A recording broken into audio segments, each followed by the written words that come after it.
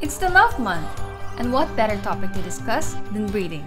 You might say you already know how to breed, but do you know how to breed unicorns? Yes, unicorns. Forget about those baby sharks, that is so yesterday. Today, we're going to talk about how to breed unicorns in crypto unicorns. Let's get started. To breed, you'll need two adult unicorns and one land. Place a building called Nursery by clicking the build icon and then choose Nursery. Assign your unicorns to breed just by selecting them. Make sure you have enough resources required to start the process. I made an infographic on breeding requirements so you can just save it on your phone for a quick check before you start breeding your unicorns.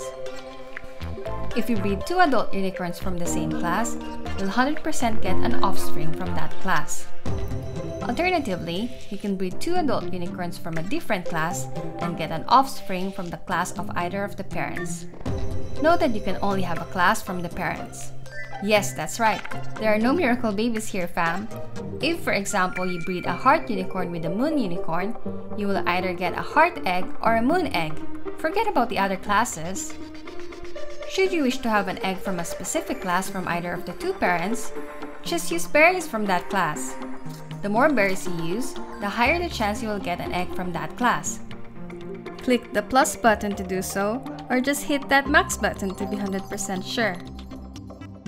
After clicking that breed button, you'll have to wait 24 hours before you can collect your egg. It doesn't matter if you have the maximum bonus adjacency. Breeding unicorns will still take 24 hours. Ah, a whole day.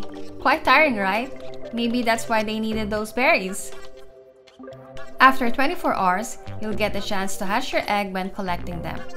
You can opt to use a breeding booster to get a higher chance for the baby unicorn to inherit the chosen parent's class part or leave it to RNGesus. Now that you know how to breed unicorns, it's time to put that knowledge to the test.